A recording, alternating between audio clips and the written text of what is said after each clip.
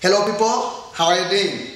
Let me take this opportunity to thank each and everybody who watches Pan videos on YouTube platform.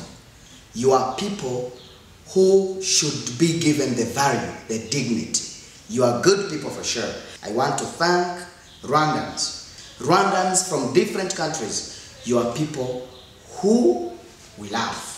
Uh, let me uh, take this opportunity also to thank people who have joined our group of WhatsApp. These people are learning English very well. We thank you so much. You are helping each other. Murimo gufashanya abantu mwagiye kuri groupe buriya turabashimira tuba tubabona cyane uko mufashanya eh, uzanye ijambo utari urizi akarimenya gutyo biriya bintu biragenda bizamura icyongereza cyane mu by'ukuri Uh, let me take this opportunity to thank all Rwandans who are outside from the country reka mfata uyu mwanya nanone nshimire abanyarwanda bose bari hanze y'igihugu. Muri abantu b'abagabo cyane kuko tubona messages zanyu comments zanyu just muduhasaba. Eh, kandi ikindi mukareba amasomo yacu which is good. Kandi uh, so far you have reached far away. Mumaze kugera kure cyane kure cyane hashoboka. Because of our videos. Let me take this opportunity to thank all rwandans who are in this country who are in rwanda. Abanyarwanda bose bari mu rwanda. Namwe muraba agaciro cyane kuko mumaze kureba amasomo yacu neza kandi eh, mwamaze kwibumbira muri group of whatsapp iri kugenda ibafasha cyane. Thank you very much. Let us go to the lesson. Today we, we are going to see a very good lesson. We are going to study together a very wonderful lesson which talks about adjectives. Okay? Adjectives. But before, remember that last time we taught you collective nouns. Do you still remember collective nouns? Do you still remember auxiliary verbs? Could, would, the use of could, would, auxiliary verbs, and uh, may and might. Ibyo bintu ndumva mubyumva neza muracyabyibuka neza. Ubu rero tujya kubigisha icyo adjectives. Adjectives. Ibinyazina. What are adjectives? Let us go to the board and see.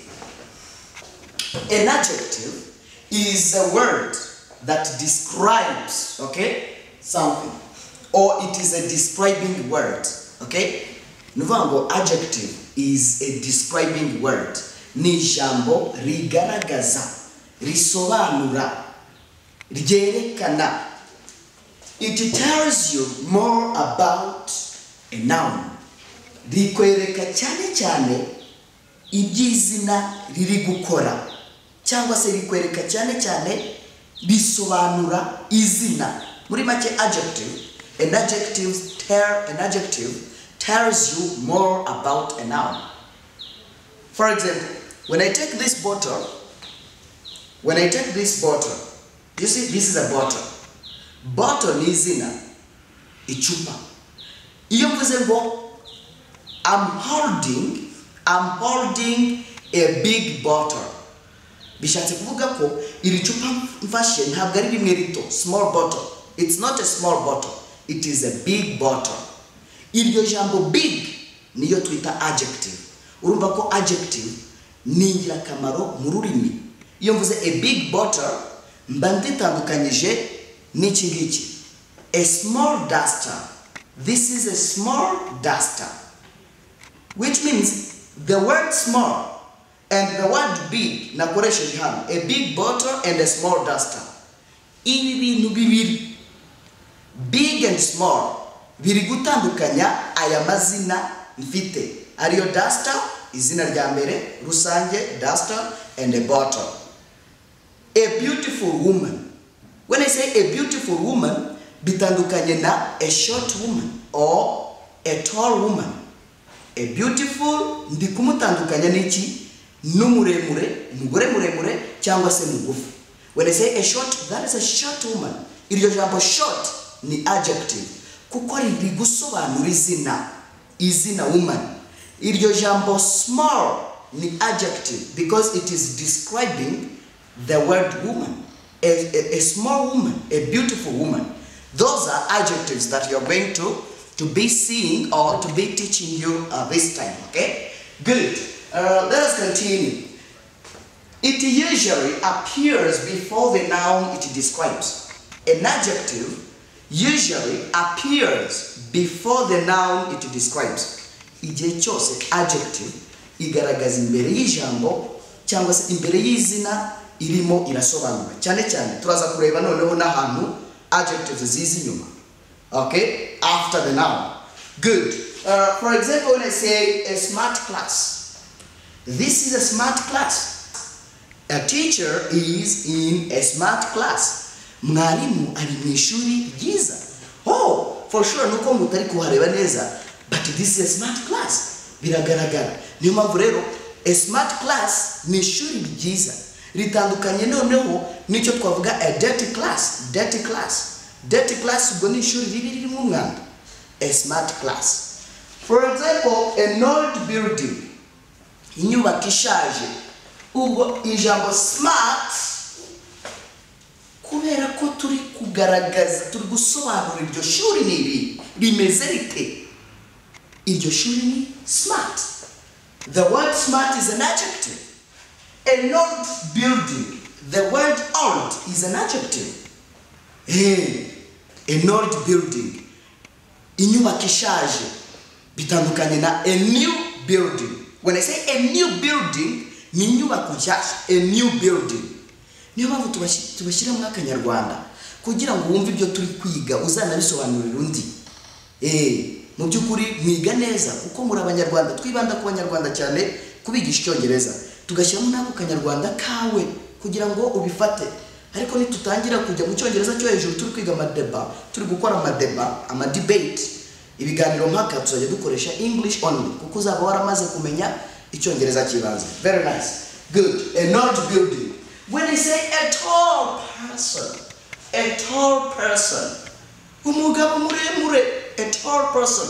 Cyangwa umuntu muremure a tall when I say a tall person ni umuntu muremure a tall man ni umugabo muremure a tall woman ni umugore muremure a big cat. Huh? a big cat. That is an adjective. Kuko turi gutandukanya a small cat and a big cat. Turi kugaragaza iriya njangwe imeze ite that is a big cat. Ni injangwe nini. Injangwe ngari eh. a low fence huh? a low fence low huh? fence ni uruzitiro uruzitiro rugufi hey, rutari long. A low fence. Ririya jambo low bisobanura adjective. A small girl. A small girl. That is a small girl. Oh yesterday i saw a small girl ejo hashize nabonye umukobwa muto small small atandukanye na wundi twise beautiful urumva ko ayo magambo small beautiful big tall long short ni byo bita adjectives kuko ziza zigaragaza noun zigaragaza amazina zikurikiye cyangwa se biri kumwe hmm? a low face? A small girl a hot place. Oh for example ushobora kugera hano ukavuga oh i am in a hot place. Ndi ndi ahantu hagize gute hashyushye hot? A hot place. A hot summer. When you say a hot summer ni ukuvuga ngo iki eh this is a hot summer noneho riba rishyushye wumva koko ko hashyushye cyane hot summer good. Uh, a long journey journey we say journey we don't say journey journey no. Journey a long journey when I say a long journey which is this one a long journey a long journey I was in a long journey that time. I was in a long journey to richness. Nari ndi mu rugendo rurerure rugaza ru- ru- ru- ruge- rugera ku bukire cyangwa se ruganisha ku bukire. A long journey. A long journey. Those are adjectives. Okay? Those are adjectives. For example, when I take this, uh, do you see? This is a chair. This what? This is a chair. I may say this is a smart chair. Even if there is a tone here, but uh, it is a smart chair. Eh, ariko biragaragara ko aka ga- aka gatebe ari keza mu by'ukuri Eh, this is a smart chair. A modern chair, modern. Iyo tuvuze ijambo modern bitandukanye na traditional. When I say a modern chair, I may even sit on it. Eh? This is a modern chair. Bishatse kuvuga ngo iyi ni intebe ya ki- ya kijyambere igezweho. Ikintu kiri modern ni ikintu kigezweho modern. But tuzi izindi ntebe za kera z'abanyarwanda bicaragaho tukavuga tuti a traditional. That is a traditional chair. A traditional what? Chair. The word modern icyo gihe biba byabaye adjective. Kubera ko turi gutandukanya modern chair and traditional what? A traditional chair? Chair. That's it. Okay? It's a chair. Good. You may say a black a black board. Iryo jambo black ryabaye adjective. If ibibaho byose ibibaho byose ntabwo biba biri- ariko biba biri black. Hari na white hari green boards and whatever. As we have told you adjectives are there to describe nouns ibinyazina bigaragaza byerekana bisobanura amazina bigaragiye cyangwa se biri kumwe. For example when i say a green board this is a green board. A green board is totally different from a blackboard niyo mpamvu usumva bavuga blackboard green board red board white board. Which means this is a green a green board. Iryo jambo green that's a color. Ni ni ubwoko bw'iki bw'ibara iyo green board green iri kugaragara iri gusobanura iki kibaho ari ikibaho ki gifite irihe bara uzasanga hari undi mwarimu uri kwigisha akoresheje blackboard. Iyo iyo black na yo ni adjective iri gusobanura icyo kibaho ari gukoresha gifite irihe bara whiteboard. Muzabona za whiteboard. Bandikisha markers marker. Those are whiteboard whiteboard okay? Green board blackboard whiteboard those are what we call adjectives in english language. Good. A long journey as we have explained. A long journey journey a long journey. I may say let me uh, give you this example for further explanations. For example, here, here I have uh, cameraman is going to help me uh, show you this one. Okay, here you have uh, the screen. Do you see this screen? My screen is black. Okay, my screen is black. That's why I will say I have a flat screen cyangwa I have a black screen nubwo iri black ariko ni na flat. Iranashashe irarambuye. Ikintu kiri flat. Flat.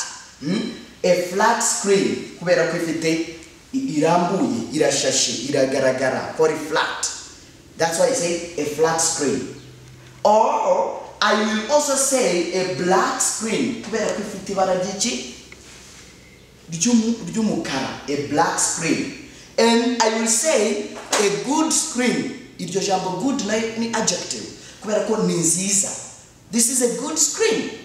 I will also say an expensive screen. Kubera ko irahenze expensive n'iryo jambo expensive ni ni adjective. Kubera ko ihenze. I will also say a smart screen. Do you get me? A smart screen. Iyi screen ni smart kubera ko igezweho or a modern modern black expensive uh, flat ibi byose bisobanura ko screen yanjye ndi kuyerekana. Izo nizo bita adjectives. Kuko ni ibinyazina bigaragaza byerekana ikintu icyo ari cyo. If i say a black bitandukanye n'undi ufite a white screen. Hari n'undi ushobora kuba ufite screen ifite ibara ryi- ry'umweru that's a white screen okay? I will also say this is a heavy a heavy screen because i'm not able to, to, to uplift it. Ntabwo nshobora ku- kuliftinga iyi screen yanjye kuyijyana hejuru. That's why it is a heavy screen. Iraremereye heavy. Ariko ushobora kuba hari indi screen iri very weak or simple. Yoroshye cyane kuba wayiterura that is a heavy but this is a heavy script a heavy script. Yes uh, my friend help me help me. Yes yes yes good. That is a, a heavy script okay? Okay okay. Help me to okay. Just uh, hope you've understood well the meaning of adjectives. Mwumvise ubusobanuro bw'ijambo adjective cyangwa se bw'i- bw'i- bw'ibyo bita adjectives. A black screen a short screen a heavy screen a flat screen a, a smart screen a modern screen. You see? A modern screen. A traditional screen. Say a traditional screen. Ukabona screen imaze igihe kinini cyane cyangwa se television imaze igihe kinini cyane ah that is a traditional screen. Which means which means that it is not modern. It is uh, a screen which is whi- whi- which was made uh, last years ago in ancient time okay? Yeah. Which means that uh, that is that is a modern one. That is a modern screen. Modern. Modern. Cya vuba ikintu kiri moderne abumva igifaransa barahita babyumva modern screen okay? That is a modern screen. Let's go uh, we are going to see adjectives okay with their endings okay? We are going to see endings of adjectives okay? Imisozo ending. Imisozo y'ama adjectives amwe n'amwe cyangwa se y'ibinyazina bimwe na for example when i have the word full and less muzabona amagambo aherwa na full cyangwa agaherwa na less. Those are adjectives. Amenshi muri aba very adjectives. For example when i say a beautiful dress a beautiful dress ikanzu nziza a beautiful dress. A homeless person. A homeless person. Umuntu ugize ute utagira haba. Tumwita homeless. Homeless and beautiful aya magambo yombi ni adjectives. Kubera iki turi kugaragaza iyi kanzu ni kanzu ki? Ni ikanzu nziza. Itandukanye n'ikanzu ndende. Ushobora kuvuga ikanzu ndende. Ikanzu ngufi a mini dress or a mini skirt. Mujya mubyumva ngo imini biva ku cyongereza mini a mini skirt okay? I may say a, a rich person. Aho kuvuga homeless person i may say rich person. That rich the word rich nayo yakoreshejwe as an adjective tugaragaza ko uyu ari umuntu w'umukire. Ariko ntabwo ari we turi kuvuga. Turi kugaragaza noneho ko ari homeless. Homeless rero ni adjective. Iri kugaragaza imiterere y'uyu muntu. Uyu muntu ni, muntu ki? Ni umuntu ugize ute? Udafite ahawe let us go to the third example of the words or adjectives which end with less or full. A careless driver a careless driver. Umushoferi utagize ibyo yitayeho utwara nabi udafite perimi udafite perimi nyine just the one who doesn't have driving license is a careless driver. Sometimes uh, he, drive, he drives carelessly. Rimwe na rimwe atwara nabi nyine. That's why a careless driver. Niyo wasinze when you are drunk you drive carelessly at that time you are a careless driver. Yongewe ugasinda you are a careless driver. Umushoferi utwara nabi. Tumwita careless driver. A careless driver. A useful tool. A useful tool. I- useful means igikoresho cy'ingenzi cyangombwa tool ni igikoresho. Let us see some examples. We are going to see some examples of these uh, these are adjectives that end with uh, uh, that end in less and full. For example, my aunt bought me a beautiful dress yesterday. my aunt bought me a beautiful dress yesterday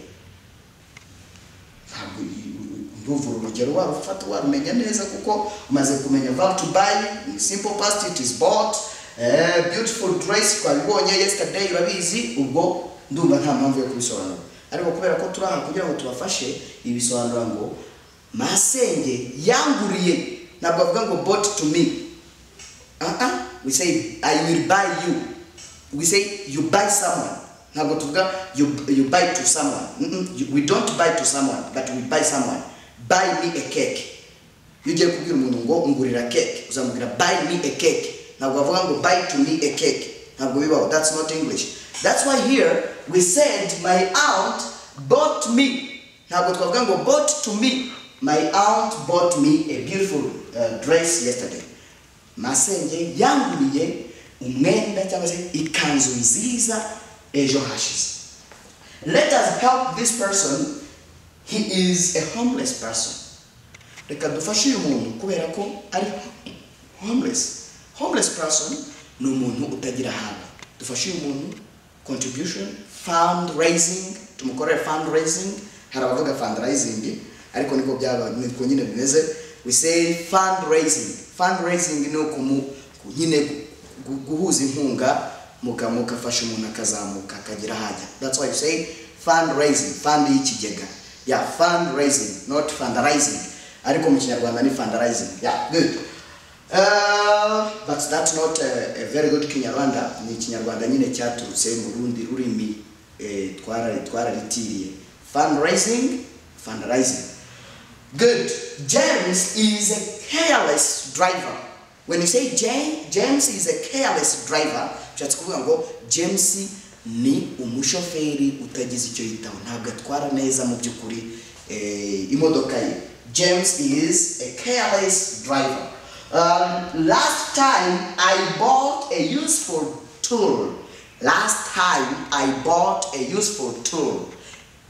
Mu gihe cyashize naguze igikoresho cy'ingenzi cya ngombwa.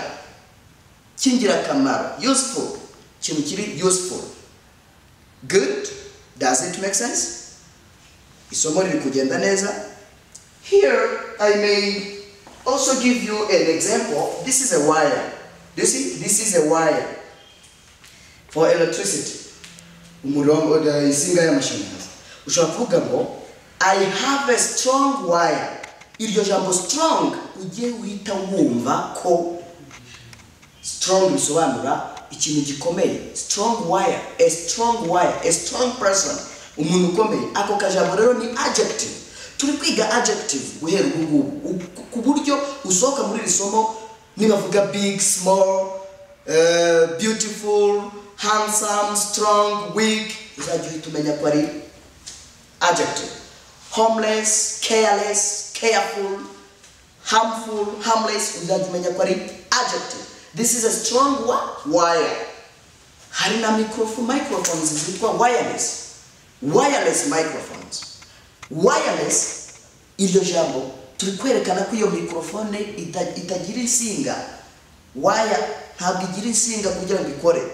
Ikora wirelessly it works wirelessly ikora nta rusinga ruhari.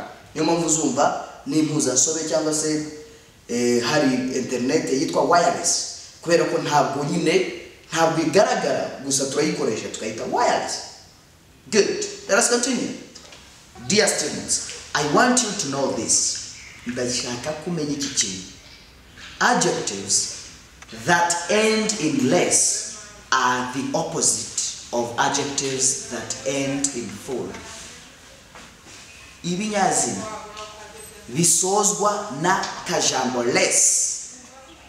Ni ikinyuranyo kibisozwa n'akajambo full. Reka mbisobanure neza when you say careless a careless girl. Ni umukobwa utagize icyo yitaho. A careless girl. Uyu careless girl ni opposite. Opposite ni ikinyuranyo. Ni ikinyuranyo cy'uwo bita a careful girl. Wa mukobwa noneho wita kuri buri kimwe. When I say a harmless what? Harmless. When i say harmless water this is harmless water. Aya mazi ntacyo yakwangizaho kubera yuko ni ikinyuranyo cya harmful water. Ikintu kiri harmful ni ikintu cyakwica ikintu cyakwangiza tukita harmful. But when i say harmful place hariya hantu ni habi hari harmful ha- hakwica hakwangiza but harmful harmless place a harmless place ni ahantu hatagira icyo hagutwara which means less it is without full it is with. Adjectives let me repeat this again because it is very important in your journey of learning english language.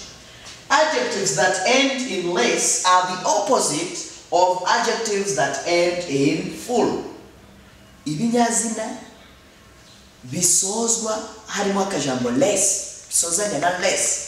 Ni ikinyuranyo cy'ibinyazina bisozwa bisozanya cyangwa se bisozwa harimo akajambo full. Full ni with. Iyo uvuze ngo fearful. A fearful person. Ni umuntu wuzuye ubwoba. Ubwo full aba afite ubwo bwoba fearful. Ariko yari fearless. A fearless a fearless person or fearless people a fearless woman a fearless soldier ubwo musirikare nta bwoba bagira a fearless soldier. Eh? but fearful kubera ko kajambo full gahita kamwongerera bwa bwoba. Full means with with kiri kumwe. Mu gihe without ari less another example when i say john is a shameful person. Shame ni ikimwaro isoni umuntu uri shameful ni umuntu ugira isoni when you say john is a shameful per- person is a shameful person bisha- bishatse kuvuga ko john yuzuye izo soni but when you say janet is a shameless girl janet is a shameless girl. Janet nta soni aba afite without nta soni agira shame ashobora kujya kuri stage. Akavuga nta kibazo afite that, that person is a shameless person.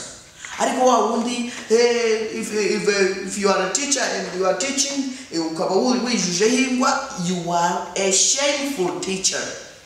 Uba ufite uba uri mwarimu ufite isoni. But no shameful teachers. Ariko nta barimu bagira isoni nta- ntabwo bibaho. How can you uh, how can people call you a teacher when you have uh, the shame? No no no no. It doesn't uh, happen. It can't happen. Uh, if you are a teacher you should be shameless as me. As I am okay? As I am. Yeah if you are a teacher you should be shame, shameless. Nta you should not you should be shameless. Not don't be shameful when you are a teacher ariko buriya ngo isoni cyane. Ntabwo ari nziza. Good. Uh, very nice. Uh, just we are teaching you. We are uh, to the end of uh, this lesson okay? Uh, we've been teaching you uh, adjectives okay? Just we, we have seen twabonye we have seen many examples of adjectives. Duhereye no ku twagiye tubereka a green a, a green board a big bottle a smart classroom. Do you still remember? A big building uh, a flat screen uh, like a, uh, a black screen a modern screen a smart screen things like that. Those are adjectives that you should know in this lesson my friend. Aho kugira ngo ujye videos nyinshi zidafite icyo inama i can sensitize you to come here and learn english language which is going to help you in your future time. Because when you are learning english on pan entertainment you are increasing your level of speaking as well as developing your future time. You are developing you are building your future time. You are stepping forward. Urimo my friend ikintu nakubwira cyo nuko niba utarajya aho abanyeshuri njye simba ndimo ntabwo mbafasha kubera nta mwanya mbafite. But they help each other. Abanyeshuri ubwabo bari gufashanya bakazamurana. Nawe ngwino mu rubuga rwa whatsapp rwa pan entertainment wige icyongereza neza. Niba uri mushya ubonye iyi video uri mushya kanda kuri subscribe. Mu by'ukuri ikindi kandi share. Share try to share this video to many people as many people as possible. Share to your friends. Iri somo ri- risharinga abantu benshi bamenya adjectives. The people who don't know adjectives. Akabavuga ngo a big house. Atazi mucyuka gusa. He doesn't know she doesn't know. The word big what, what does big mean? Ariko nanone ni communication skills. Izi izi examples zose izi ngero zose tubahaye they are there to help you in your communication. Muri communication yanyu when you are talking to different people english language. Try to use english language by using a very good adjective. By using uh, very good english. Koresha icyongereza cyiza koresha adjective nziza cyane mu nteruro thank you very much. As usual I'm teacher jasper. Ndi teacher jasper. Nimero ziraho kugira ngo zigufashe. Numbers are there. Call me sms me or text me. Text me. Nyandikira mpamagara cyangwa unyoherereze ubutumwa. I'm there to respond to give you the positive feedback. Thank you very much